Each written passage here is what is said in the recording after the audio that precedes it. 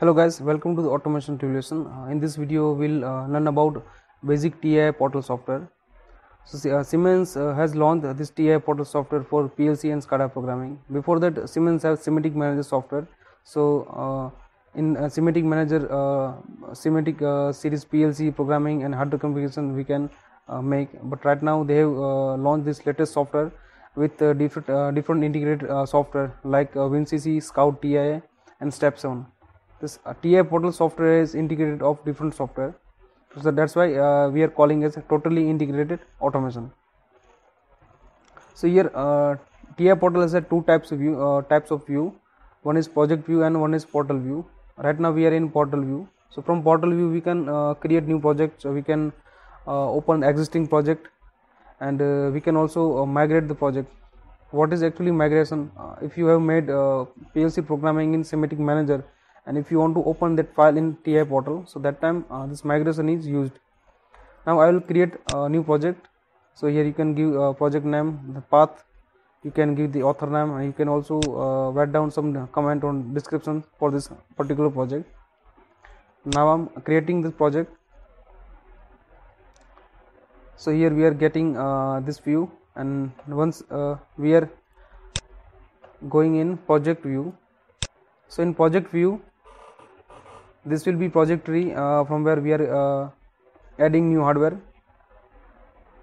This will be task card and this will be ins- inspection window from where uh, we, are, we can get diagnosis and uh, some information.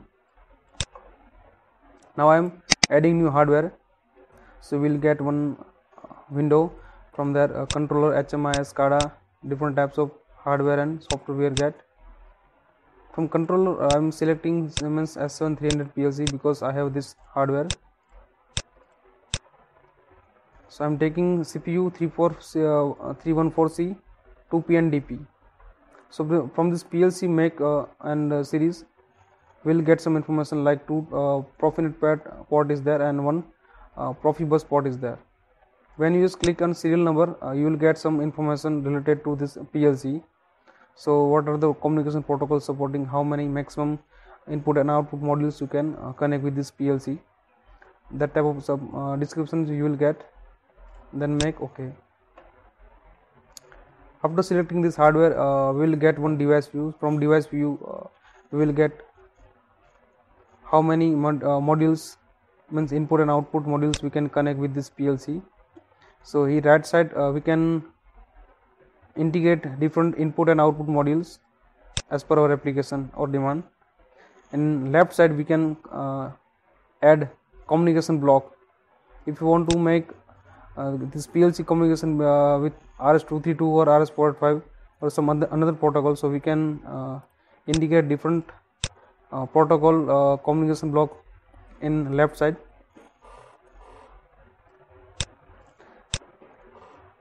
Now in property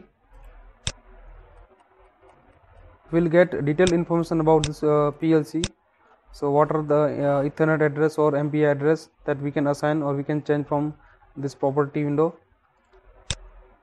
And uh, different types of uh, analog and digital channels and clock memory uh, what are the hardware uh, interrupts time delay interrupts that we can assign from this property? The web server applications. From iotag we'll get information about input and output addressing. So here uh, from iw it is indicating uh, analog input uh, and uh, qw is indicating analog output. This i136.0 is indicating uh, digital input and q136 is for uh, digital output. If you want to add some an uh, modules so you can take from this hardware catalog you just drag and drop like this. You just double click on that uh, particular module. Right now i am assigning as it is. And then select the plc this is for compilation. So after compilation error and warning must be zero. And then download this hardware into plc types of PGP, uh, pc interface uh, should be profinet or nearest ethernet and uh, this is the driver uh, for communication. Now i am tracking this network. So from profinet industry ethernet uh, this network will track and will get one ip address and plc device. And i'm loading this device. So after successfully loading error and warning must be 0 so right now we have fresh plc without any programming if you want to make program so we'll go for program block. And in main ob or different ob we can make programming. So right now i'm just taking one example like input and output simple.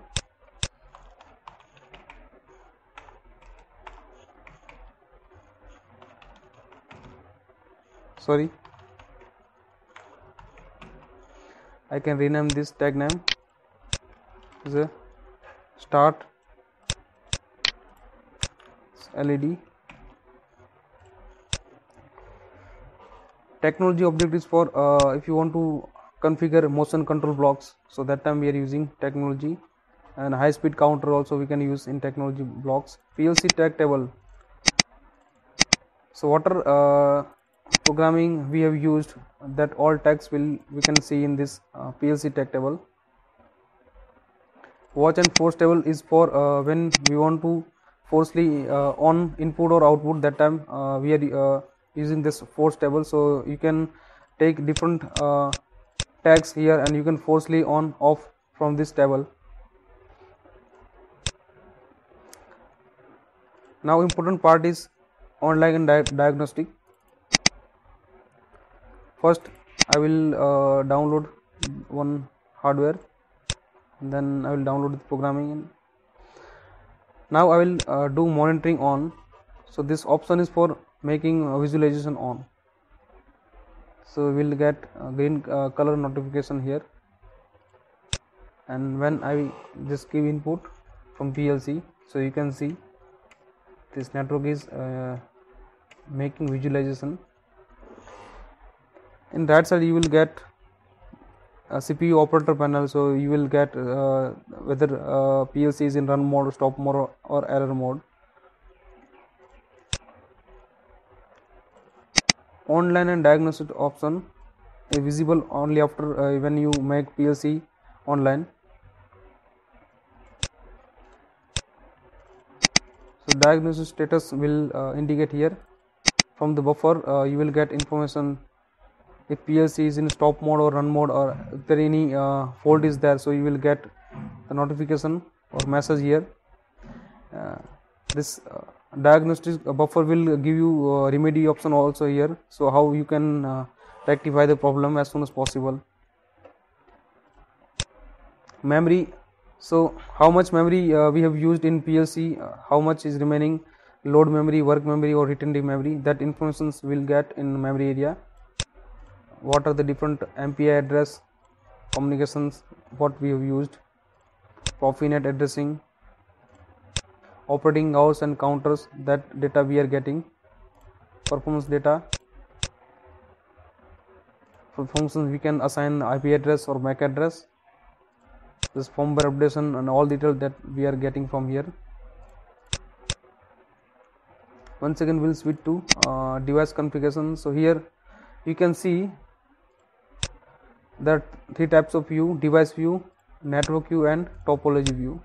So from network view if you uh, using different types of uh, systems hmi or different multiple hardware so if you want to make network in profinet or industrial ethernet so we can assign the network type or ip address from this network view. Here uh, different types of driver status pc systems hmi hardware we can take directly to uh, this network view.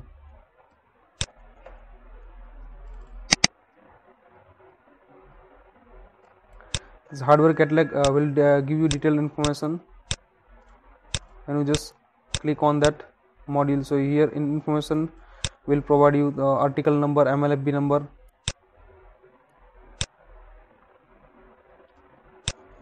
So to this, uh, I think it's okay uh, for basic uh, TIA portal introduction and next chapter we will learn uh, how to make programming in TIA portal. Thank you for watching the video.